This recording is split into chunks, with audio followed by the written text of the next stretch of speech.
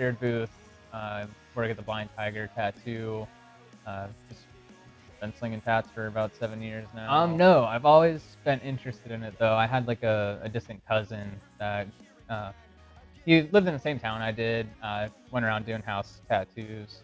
Uh, so he tattooed my parents a couple times, and that really got me interested in like tattoos in general. You know. Oh, you Uh, practice Um, no, so he would come by and like tattoo my parents, and I would always just Oh, be oh, like, okay, I got you you. know, super hovering over, begging to get one, Yeah, you yeah, know, and yeah. I'm like 11.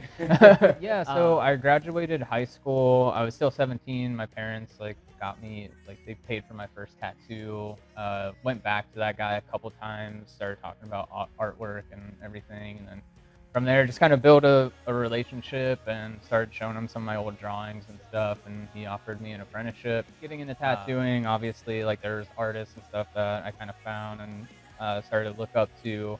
And uh, so this dude i found was local uh, i wanted him to do my neck tattoo. It was kind of like my first year of tattooing like gift myself like all right I, you know i made a whole year doing this for a living. Like, let's kind of set this in stone. Went around there, does custom art, uh, super cool styles, uh, and it, you know, just something that I, I wanted to see myself doing one day. You probably Um, got motivated. ex- yeah. Probably like, like that, that, Yeah, big time. You know, it's like, and, and you know, starting out and not knowing a bunch of things, it's like, you know, like, oh, like, I like how that dude does that or this dude does that. So it's cool to see like one room of people that you can get all those things from, you know, and uh, different things, you know, it depends what the goal is, I guess, for the drawing. But uh, I always think of it like I'm a little weird with stuff. So like that's kind of where I gravitate towards. Like if I'm drawing for myself, like I make up like,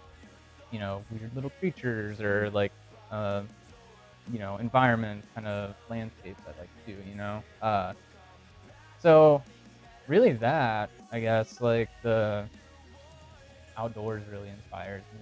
Kind of gets a nice breath fresh air. Honestly, if I if I get to a spot where it's like that on a specific drawing, just like putting it down for a little bit, walking away, kind of taking a deep breath um, away from it. With like one specific drawing, you know, obviously like I, I have deadlines and stuff, so I have to get them ready for certain points. I, I can't spend all the time in the world doing that.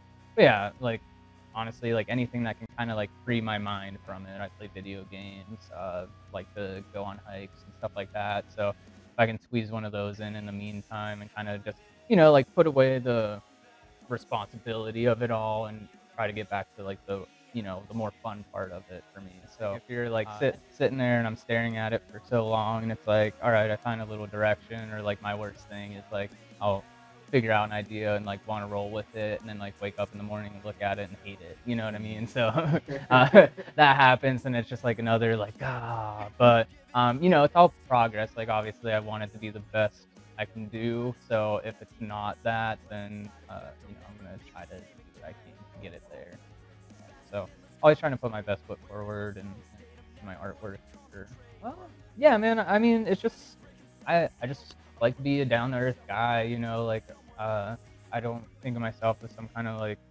rock star like you know i can do this and you can't kind of thing. So like i don't ever you know i like seeing everyone eye to eye no matter who they are or where they come from kind of thing. So uh, again like collaborating with ideas i think that's an important part uh, and just building relationships along the way really because especially with like tattoos you spend a lot of one-on-one time with people. So uh, it's cool to kind of get to know people from all walks of life like uh, yeah so you know stuff like that and it, it's cool. I, i've always been that kind of person that uh, I, i'm really interested by other people's like life stories and their experiences and stuff so um, and again I, I feel like that helps in like building rel relationships and rapport with people and uh, that, that'll keep them coming back uh, to get work done by me and also like you know I, I, just think that's the way to be in life you know just be cool with everyone and you know, there, there's no reason to, you know,